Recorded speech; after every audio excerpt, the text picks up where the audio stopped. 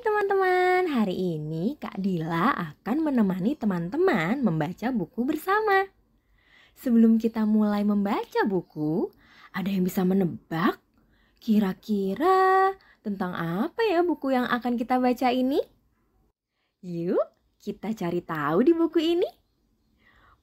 Buku ini berjudul Warna-Warni Alam. Penulis dan ilustrator Bulbul Sharma, pembaca Aldi Laka. Mari kita mulai. Aku melihat seekor kupu-kupu biru melambai selamat tinggal. Aku melihat seekor lebah kuning sedang minum secangkir teh.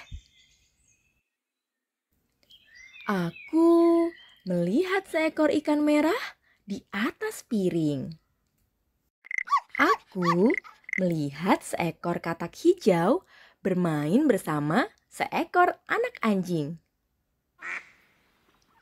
Aku melihat seekor bebek cingga mendoakan keberuntunganku.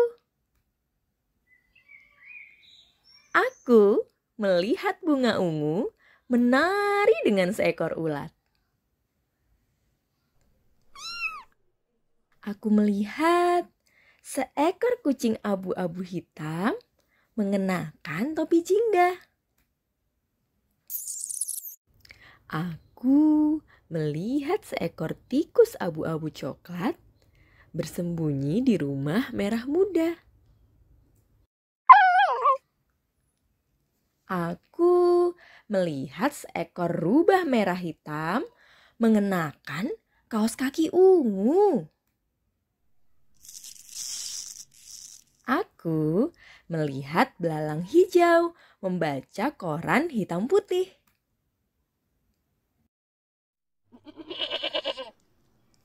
Aku melihat seekor kambing hitam ungu berlayar di atas perahu merah. Aku melihat seekor buaya hijau coklat tersenyum lebar padaku. Aku melihat seekor ular merah muda hitam sedang makan sepotong kue. Aku melihat seekor ayam merah kuning sedang menulis dengan pena. Aku melihat seekor harimau hitam jingga sedang berdiri di tengah air. Aku melihat dengan dua bola mata hitamku semua warna yang seolah beterbangan. Selesai. Wah, seru sekali ya. Bagian mana dari cerita ini yang paling teman-teman suka? Kalau Kak Dila sih, suka seluruh ceritanya. Terima kasih ya sudah membaca buku bersama Kak Dila. Sampai jumpa di buku-buku lainnya teman-teman.